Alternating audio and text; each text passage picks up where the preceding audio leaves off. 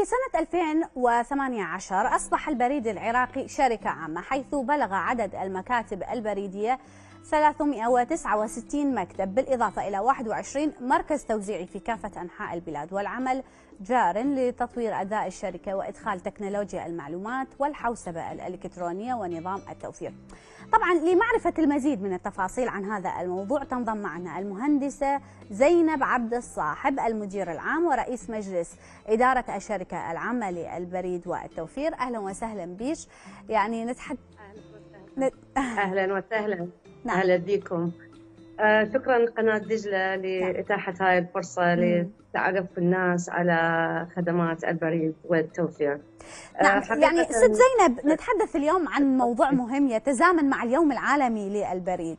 والبريد العراقي يعني آه، في أذهان العراقيين آه، طبعا الأجيال اللي سبقتنا مو إحنا آه، مرتبط يعني بذاكرة الرسائل والطرود اللي تصل من الخارج وأيضا إرسالها من يعني من العراق إلى الخارج.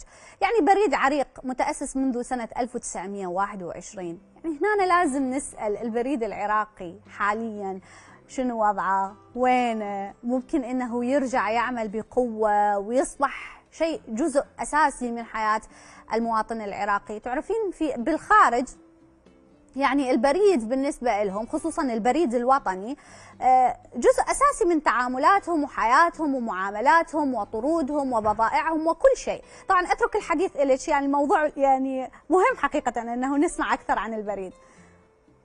آه نعم. حقيقة البريد العراقي مثل ما تفضلت هو متأسس من سنة 1921 دائما البريد عادة يرتبط بتأسيس الدولة. أصلا يعني في زمن آه، بداية الدولة عندما يعني يسافر رئيس الدولة أو الملك يعني يكون مسؤول البريد هو اللي ينوب عنه يعني كأنما نائب عنه. فرجعت هسه حاليا بعد تعرفون تطور الرسائل عن طريق الإيميل. آه، يعني تطور التكنولوجيا شوية لفترة من الفترات البريد بدأ يرجع يعني يتأخر. لكن آه، تعرفون هو يعني مو بس بالعراق كل برد العالم تعاني نفس التطور ونفس التكنولوجيا. فلجأت آه، هناك هناك اتحاد البريد العالمي ال UPU لجأ إلى وسائل لإعادة البريد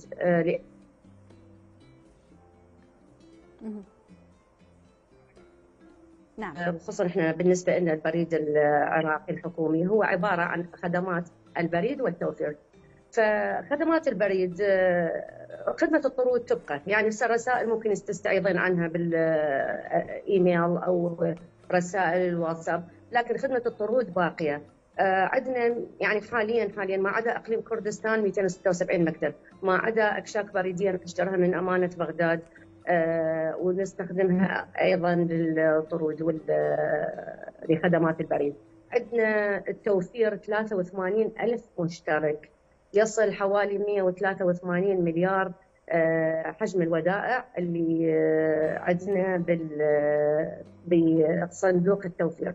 عندنا قانون خاص هو قانون البريد وقانون التوفير حقيقة يعني منذ السبعينات لغاية الآن لا يزال ساري مفعول بدنا نحدث عليه. آه، عندنا بنى تحتية جيدة. إحنا حاليا يعني بنواكب التطور وفق ما صار مثل برد العالم.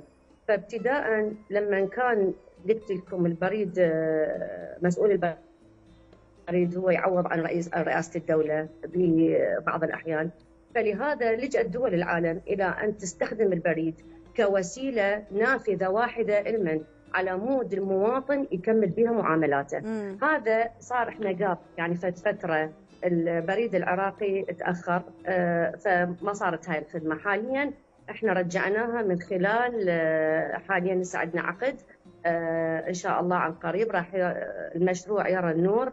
نهاية 2023 بداية 2024 نصير آه، مثل دول العالم. يعني حضرتك عندك مثلا جواز أو عندك نعم. آه، فيزا. تروحين للبريد. أكتب يعني وإحنا 276 مكتب انتشارنا بعموم العراق. م. فهاي 276 مكتب راح تتيح لنا تتيح للمواطن إنه ما يكلف مسافات يعني بأي محافظة بأي ناحية يكون موجود. فما تكلفه إنه يروح يراجع دائرة والازدحامات على الدوائر وتعرفون يعني ست زينب آه، دا تشتغلون ويا الوزارات على مشروع إنه يعني طرودهم أو مراسيلهم توصل عن طريقكم إلى المواطنين؟ آه بالضبط. نعم. آه إحنا عندنا جانبين ويا الوزارات. الجانب البريد الحكومي يعني الرسائل الحكومية اللي بين الدوائر. إحنا عندنا اعمام يعني مسوي لكافه الوزارات انه يستخدمون البريد العراقي لهذا. ما عدا هذا اللي تتفضلين حضرتك حضرتك به انه آه يعني بدنا نحاول ننسق. وطبعا عندنا دعم كبير من حتى من مكتب رئيس الوزراء من السيدة وزيرة الدكتور هيام الياسري إلى أن نقدم هذه الخدمة. نكون مثلا وزارة الخارجية. مثلا عندنا بوزارة الخارجية التصديقات دائرة التصديقات. ما يحتاج بعد المواطن يروح لدائرة التصديقات؟ يجي للبريد يقدم أوراقه وإحنا نكمل الهيا ونرجع الهيا هسه نعم. نحاول نكمل اسطول عندنا لتكملة إحنا عندنا ال last mile يعني نهاية المطاف مثل ما يقولون بهاي 276 مكتب. عندنا هسه عقود إنه نسوي لنا أسطول آه، بريدي بحيث يكون متكامل من ناحية السواق ومن ناحية مم. السيارات والعربات يعني اكو توسعة في المكاتب؟ بطل. يعني من آه 267 نعم. مو 267 إلى أكثر؟ 267 آه إحنا في مجال توسيعها ما عدا توسيعها، إحنا دا نطمح أن نوصل للمواطن ببيته، يعني بعد ماكو داعي همينه يرجع يراجع دائرة البريد، ممكن يراجع دائرة البريد فقط يخلي مستمسكاته لكن آه، الخدمة توصل للبيت عن طريقنا عن طريق البريد. يعني ال last mile طيب. يصير بيت المواطن طيب ست زينب ممكن إنه أيضا يكون عندكم تعاون مع شركات آه، بحيث إنه يعني يستخدمون البريد العراقي في توصيل البضائع إلى العراقيين؟ أقصد الشركات المحلية الشركات العالمية. إيش قد أكو إمكانية بالتعاون؟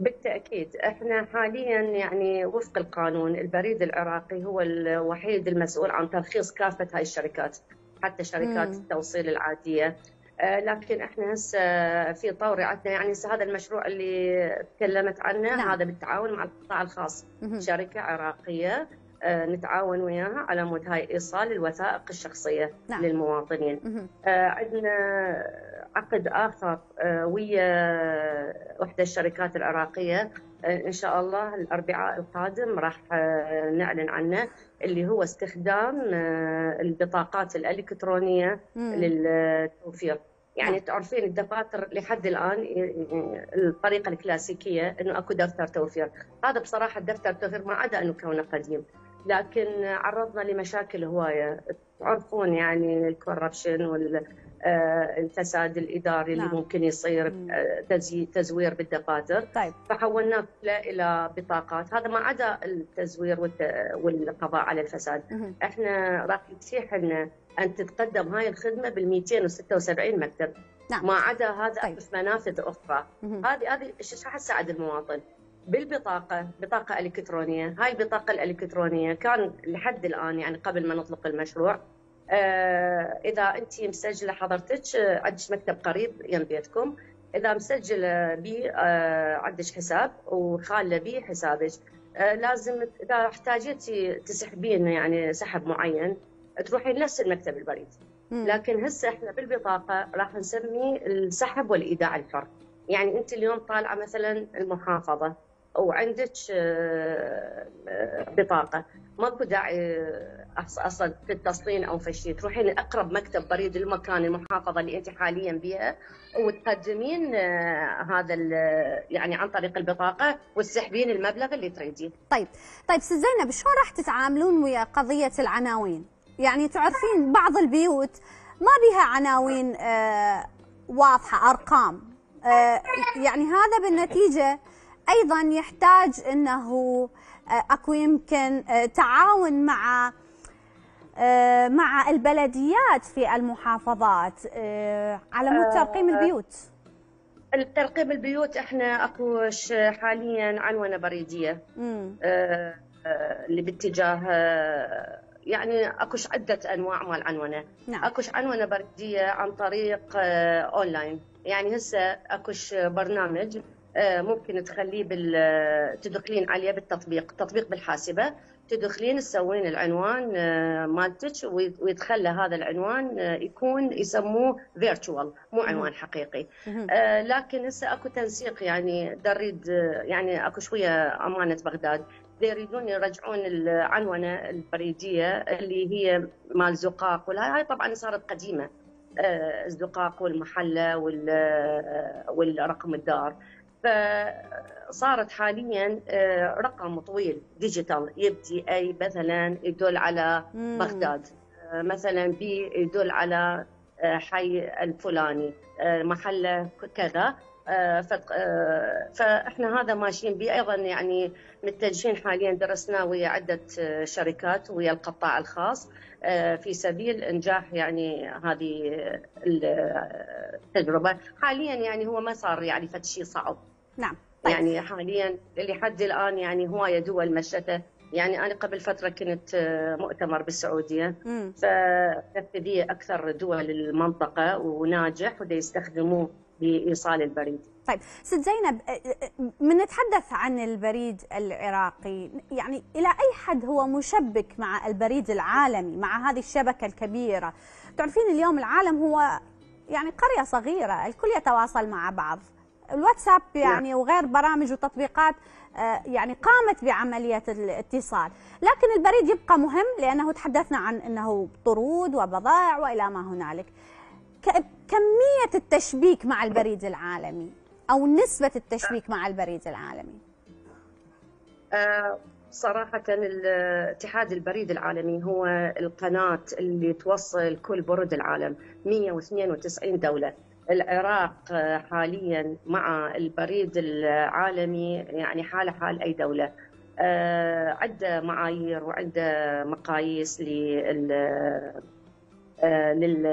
يكون هذا البلد واصل لمرحلة واحدة معينة رانك فإحنا امتثلنا حصلنا حاليا آه، شهادات للأنظمة وشهادات للأمن البريدي. آه، آه، حصلنا على مرتبة عالية. يعني هسه لو تقولون على ال rank مال العراق العراق وصل للمرتبة 97 هاي المرتبة 97 يعني أهلته أن يكون من مقدمة الدول اللي هي متطورة بالبريد. هذا الشبكة البريدية إحنا شلون عندنا عندنا هسه مثلا نظام نظام اسمه ال IPS. هذا ال IPS نظام يسويه الاتحاد البريد العالمي. اتحاد البريد العالمي نطالي كل متاح هذا طبعا اشتريناه license من اتحاد البريد. شو يسوي هذا؟ هذا نظام تعقبي يعني هسه حضرتك عندك آه، طرد رايح لألمانيا. فأنت تقدرين تدخلين عن طريق هذا ال IPS تشوفين الطرد مالتك وين هذا هاي الشبكه يعني. اكوش نظام آخر يسموه IFS اللي هو الحوالات المالية. هذا حاليا إحنا نشتغل باتجاه أن نكمله. يكون عندنا كل البريد بالعالم آه، تقدرون تسوون حوالة عن طريق مكتب بريدي وتصير حوالة عالمية. هذا النظام آخر ال IFS هسه يعني اتجاه البريد عالميا دا يتجه نحو التجارة الإلكترونية. آه هنا يعني حيصير محطة انتقالية للبريد الكلاسيكي إلى البريد المتطور عن طريق التجارة الإلكترونية. تعرفين أمازون و eBay وهذا؟ نعم. فإحنا باتجاه نسوي أمازون العراق. نعم. يعني هذا الشيء راح يكون موجود بالمستقبل؟ إن شاء الله قريب إن شاء الله. قريب؟ وأيضا أيضا تعاون مع القطاع الخاص ومع اتحاد البريد العالمي. إن شاء الله قريب جدا يعني. إن شاء الله ست زينب. يعني إحنا نفرح لما نشوف يعني بلدنا يتقدم في كل المجالات والبريد واحد من أساسيات فعلا تأسيس الدولة. نتمنى أنه فعلا نكون مشبكين مع كل العالم بكل شيء مو بس بالبريد. شكرا لك وسعيدة أنه تكونين ضيفتنا اليوم باستوديو الظهيرة للحديث عن البريد العراقي العريق. أنا أشكركم أنا أشكركم. شكرا جزيلا. تسلمون.